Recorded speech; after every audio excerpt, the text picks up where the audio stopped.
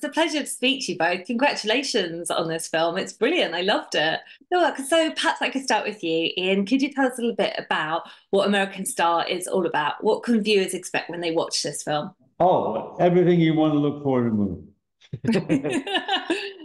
everything scenery, love, performances, ending, Happy, happy, sadly not, but that's another thing altogether. Photography, photography is beautiful. It's beautiful. It's a great advert for going on holiday to Fuerteventura. yeah. Music as well. The music is fabulous by Remate, but mostly I owe it to this gentleman on my left, which is why we're together. I mean, we made a film back in uh, about seven years ago, he tells me, because that's when the kids were born. So you're obviously, you know, yeah. your twins were born. Called Hollow Point, which uh, was another terrific movie. It's a Western noir movie, which sort of got lost in distribution hell in America, but we stayed friends. And he came, and about a year later after we made the movie, um, he had this writer, Nacho Faerna, who had this idea for a script about a, a hitman. And Gonzalo approached me about it. And over the course of the next five years, the script matured, developed, and became something more than just that of a hitman on his mission, but developing. I mean, I know, but, this film is very much the islands and the scenery and everything is very much part of everything. It reminds my character Wilson, I think, of he likes it, and he's like, and suddenly everything floods back to him as he's an older gentleman, or maybe his last mission. You never know. But he's flooded by a lot of things in his life that maybe he's missed out on. Too late to capture them, but for a brief few days, maybe he can. He can. Well, what it would be best is it's you don't expect an action thriller, you know, like that kind of thing, you know, because maybe sometimes because of the hitman thing and the gun and things like that, maybe people go to the theater or to watch the movie with those kind of expectations. And it's a it's a slow burn. It's a it's a movie where it is important to be with the character and to understand the character and understand his situation and his personality and what's happening to him. And so the movie takes that time to reflect it in a way that makes you understand it and that you feel emotional about it. So I think that's wise if you go into the movie without any expectations and just enjoy the it's a long ride. yeah, but I mean, I you know, I I trust him as a filmmaker. I mean, I've seen all his earlier stuff, and he's a very gifted filmmaker, and that's why I wanted to do this movie with him. And well, you've seen it. I mean, you you know, it's it's it's uh, a little different. I mean, it's it it not it tips its cap to all those great movies of the we try to to the you know, to the noir movies of the 60s, the fifties, sixties, and seventies with a modern twist on it and a great location and a, and a terrific cast, I think. Yeah.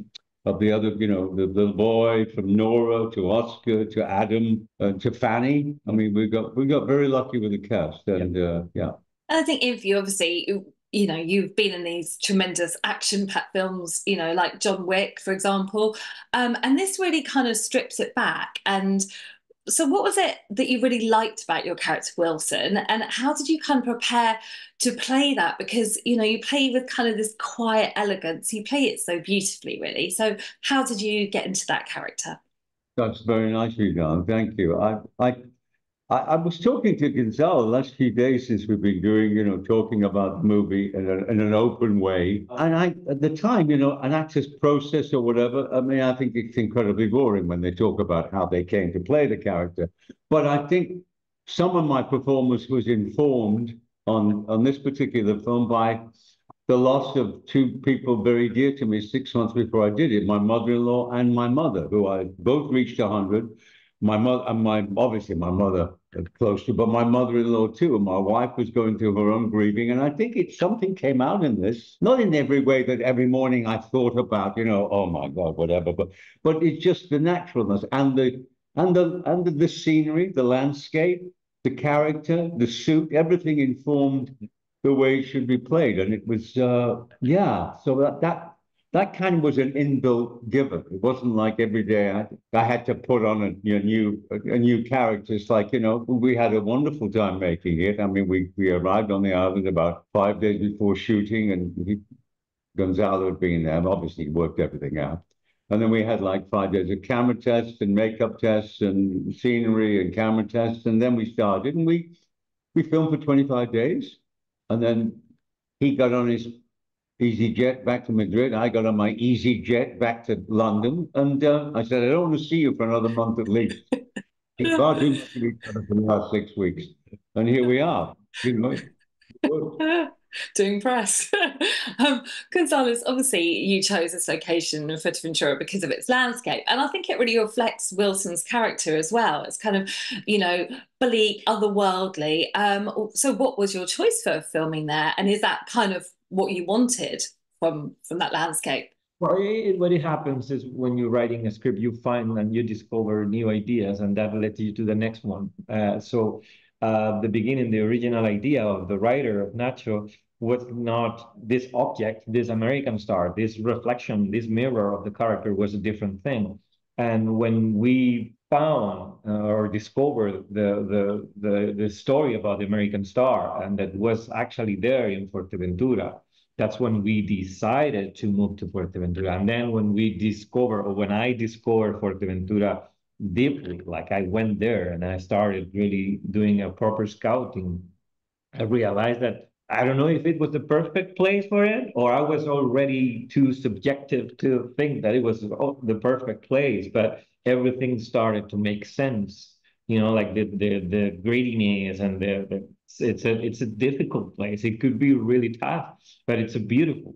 And I like how Wilson falls in love with it, even that some people could hate it because it's like Ryan said, it looks like Blackpool or it's just windy, things like that. you know, but but you see how Wilson falls in love falls in love with with the place, and I think the American Star and the island itself are really telling us something about the character. Um, yeah.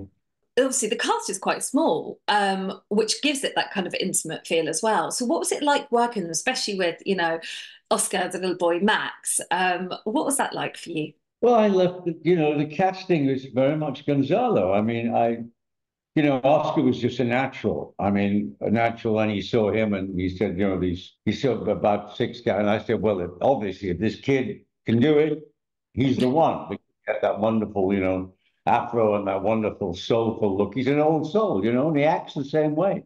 Reminds me of my eldest grandson when he was around that age. He has that quality of like, you know, show me, you know, like deadpan. He's a deadpan, you know, which is absolutely great. He doesn't act like a kid acting like a yeah, kid. He's just he's very much himself. Adam Nagaitis, who was a marvelous young actor, who was from uh, Chernobyl. Uh, he was a delight to work with, and um, and then Nora. Yeah, Nora came on board late because the original Spanish actress that, that, that Gonzalo had in mind for the role had to withdraw because we, we you know, I mean, independent films are you know, very difficult to make. I mean, I'm glad that we, you know, we, the final piece of the puzzle was when I, I brought in Michael Elliott, who I'd worked with on a, on a terrific British independent movie called Jawbone with Johnny Harris and Ray Winstone, a boxing movie. And Mike and I uh, became friends, and I said, this is a movie, and he loved it. And he brought in the other investors with the Spanish investors, so we had a, a time period to make it. And that's when this actress, she obviously she couldn't make this time period.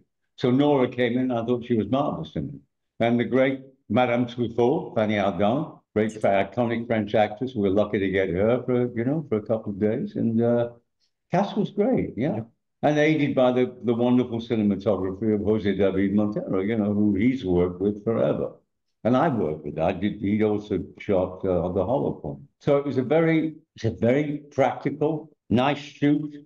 Five weeks, and it was it's lovely to see it up on that big screen now. You know, because I think we were very lucky with the cast because it's a it's a so a movie that it's so focused on on Wilson, me and McShane, that you have to be really careful about the people that it's surrounding him because it's you know are really key characters, but also like at at the end of the movie, I don't want to spoil it, but that was written in a way that it was not exactly for a well-known actor, well-known face. It could, you know, it was written in a way that it could have been done with a stunt double or something like that, you know, and and it was so important to protect everything around Wilson.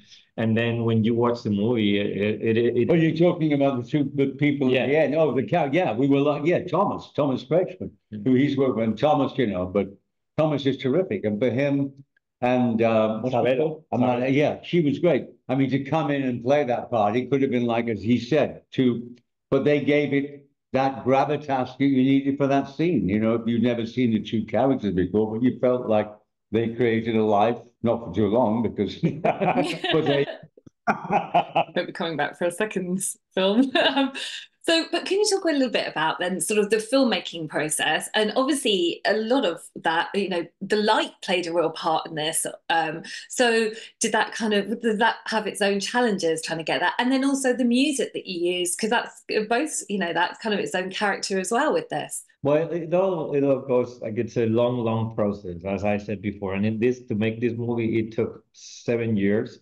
So it was not like seven years every day thinking about it, but it was it was there all the time. Uh, but the last probably three, four years, it was almost every day in my head. Uh, so I talk a lot about it with with Jose David Montero, that is the director of photography, and it's someone that I work with for the last all my life, Yeah. like for the last 20 years or more. Uh, we know each other really good, and we love to think about every project in, in, in different ways and always trying to think what's the, the soul, what is what we want to tell with this story. And it's always a personal approach. Uh, You know, a different director could do it in a different way. But in in in this case, I wanted to focus obviously on on Wilson and the time passing around him and and all those little details without being too obvious that you know what's happening around him. So first we wanted to or we discovered the, the idea of of of pointing at at the point of view of the character, or how I wanted to be with him all the time over the shoulder, or how I wanted to see what he sees. So that affected the camera style of the film. And then about the music, this is also something great and that I feel thankful and grateful about it is that I worked with Remate for the last several years and, and I'm uh, I'm going to still working with him in the future. And it's the first time in my life I work with music beforehand. So I have the I had the music when I was scouting or when I was even shaping little things in the script. Um, so that makes you always closer to the final product, you know, to what you are really trying to achieve. And also it it helps you because you're not having a different music in mind and then you have to change everything that you worked with before because you have a different soundtrack. I like to be he's very organized. consistent and No, it's, you know, it's, it's, but it Yeah. helps enormously. I mean, you know, it's not a ramshackle show. I mean, he had an idea how he wanted to shoot the movie, and I knew how I wanted to play the part, and things came up all the time. Obviously, with the with the added, you know, the added sort of um, cast people who came up with their ideas, which added only added to it. But there was no wasted time. There was no arguments about the script every morning. You know, it was like we got up, had breakfast, went to work, sun went down, we finished, went home, came back the next day, and uh, all the elements were there. And I think he edited, he knew what he wanted to do. There's very, there's no extra flesh on this movie, you know? I mean, what did you cut? Maybe one scene? nah, But we didn't, we, one scene was left out. I don't know. yeah, Yeah. not even was one whole scene. Oh, It was just a piece of the yeah. scene. Yeah. It's because uh, in doing making movies like this, it's not easy, and you cannot expect that you're gonna get a huge budget to do something like this. So having a not huge budget or a reduced budget means that you're not gonna have many days. So we end up having 25 days. Um, and somehow in my past projects, in my, I have experience um working in really tight schedules. So that's why I became somehow organized. No, it's great because people never want to know about that. They all they want to see is on the screen when they look at it, they go, they don't want to know how many days it took. But the Yeah. film looks like it was, a, you know, it looks like a million, it looks like a few million dollars on the screen. I mean, you know, with the, the combination of of his shooting and Jose David's use of the camera and the light. Yeah, we're very proud of him. Yeah. Yeah. And obviously, I know you produced this as well, in which is a great choice uh, to be so collaborative with this. But were there any particular scenes that kind of stood out for you, and anything both of you kind of look back and think, I feel really proud of that particular moment on screen? I, for me, the, when I see it, I, I think the, the scene which is gives me most pleasure is that the enigmatic scene with Nora and her mother. Because that sort of grew out of, you know, a regular scene with Fanny, but what Fanny gave to it, and then the improvised scene after when they're having coffee, which is just written sort of they dance. And it sort of happened very organically. I mean, it was like, you know, Nora came up and did that stuff with Fanny and they had an instant rapport, and then Wilson is drawn in. And you get that very strange scene of him dancing with her when she says, you know, about the door. She knows he's not there for the reasons that she that thinks he is, but at the same time, she's she just says the word "But don't hurt my daughter," you know, whatever. But at the same time, knowing that it's there's something else going on, and never quite. And then they dance, as people do. I mean, people do, in circumstances, react in a funny way, you know. And the funny thing about that scene is the first scene of the shooting is the first thing we show because we have those that that day we have On the first second day, but it's the first day. We just have the first day. So that yes. So that helped us to define the tone of of of the shooting of the crew and everything because it was really and the scene afterwards for me it's really important as well because it defines the relationship with with wilson and and, and gloria in the car. She hugs him and then you see how they feel about each other. And uh, every time I see I see that scene, I well, it's an it's a sort of one of those things which I think we you know suggested. It's like saying, and the, the one thing you wanted to avoid, which I think we did, is any kind of strange you know um, relationship between Wilson and Gloria. It's just two people who you know maybe she misses her father. There's something about he, he recognizes a free spirit in her, but there'd be but it could have gone into a, some kind of you know icky older man young young girl relationship but it's never Yeah. that Yeah. never he never wanted it to be anything like No, that no. that's Yeah, not to say it's romantic but not ro- romantic in a completely different way I mean Nora helped us a lot with that because what she brought to the table with her character was that fresh, you know, that kind of really independent spirit that you can see in. oh yeah oh, no- oh, Nora Thank you so much for speaking to me. Um, it's been such a pleasure and good luck with it all. Thank you so much.